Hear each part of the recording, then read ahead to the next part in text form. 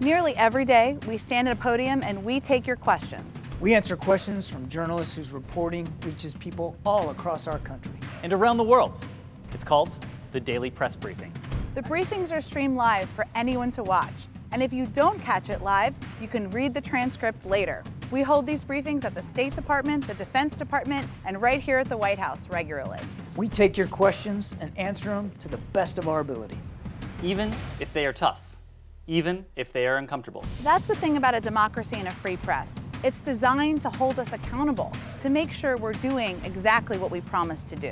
That's why we do it. That's why we do it. That's why we do it. Because access to information is for the public good. Because people have a right to know about the leaders, events, and the policies that shape their lives. You know who knows that better than anyone? The journalists who risk their lives around the world to report the truth.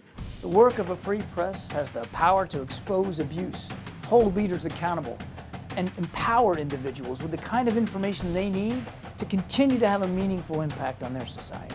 That means you. A free press is vital to human progress. When you threaten to silence journalists, you're threatening that progress. Here's the bottom line people around the world should be free to seek, to receive, and to share information and ideas. If this all sounds pretty obvious to you, then count yourself among the lucky, because it's not as common as you might think. We take your questions because in a democracy, we can't afford not to. And now we'll take your questions. We'll take your questions. We'll take your questions.